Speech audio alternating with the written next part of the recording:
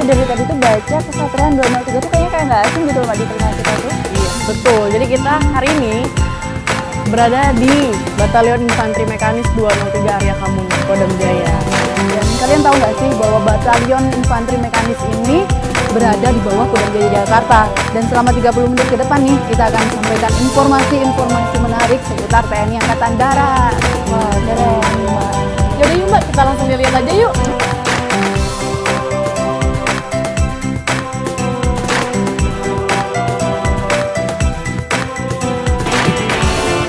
Zara Fadila, lihat kan hijau-hijau kan sekitaran asri banget kan. Iya, bener banget Mbak, asli banget suasananya. Alami Aku gitu, jadi Mbak. keingetan kegiatan eh, di Yon Ahmed 12 Kosrat Wah, kemarin. kegiatan apa tuh Mbak?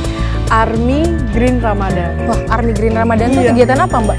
Army Green Ramadan itu jadi para prajurit prajurit dari Yon Armednya itu turun terjun langsung ke pasar-pasar, rumah-rumah, terus beberapa tempat lainnya. Oh gitu Mbak. Ada juga nih Mbak berita yang gak kalah menarik datangnya dari Rindam Satu Bukit Barisan Mbak.